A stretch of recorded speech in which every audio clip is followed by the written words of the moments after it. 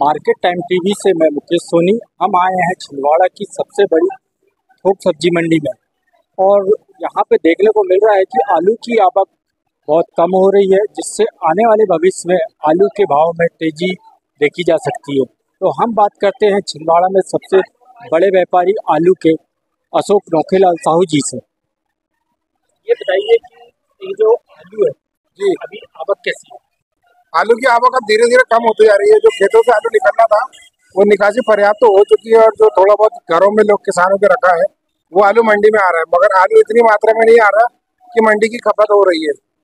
मतलब कहीं ना कहीं आलू की कमी हो रही है मंडी में। किस वजह से आलू कम आलू तो हमारे ज़िले में भरपूर मात्रा में लगा था मगर आलू का जो कच्चा आलू था जिसकी कोल्ड स्टोरेज से पहले आलू का रेट किसानों को अच्छा मिलने की वजह से आलू जल्दी निकल गया किसानों का।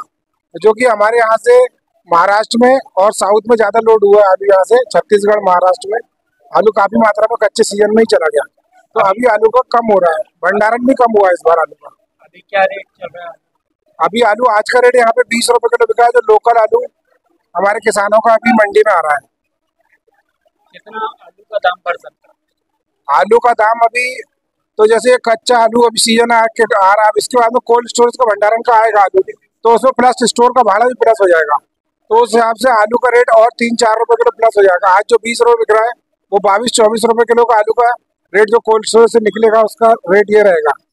बाईस से चौबीस रुपए किलो आलू बिकना चाहिए। अपने यहाँ से आलू कहाँ कहाँ जाता अपने यहाँ से आलू जो कच्चा अभी किसानों का निकला है वो तो यहाँ से महाराष्ट्र भी गया है और साउथ में बहुत ज़्यादा लोडिंग हुई है। छत्तीसगढ़ भी यहाँ से आलू जाता है। नागपुर मंडी में काफ़ी आलू जाता है। मगर अब यहाँ पे आलू उतना नहीं है जो पर्याप्त मात्रा में आलू चाहिए।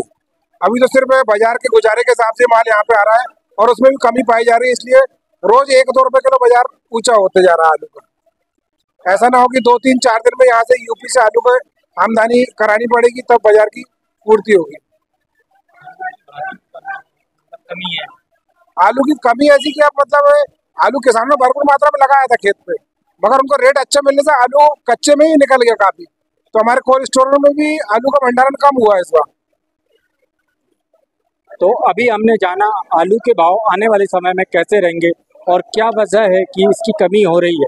छिंदवाड़ा में कमी की वजह को देखते हुए बाहर से भी बुलाना पड़ सकता है। आने वाले समय में आलू के दामों में उछाल देखी जा सकती है। मैं Mukesh Soni, market time TV से।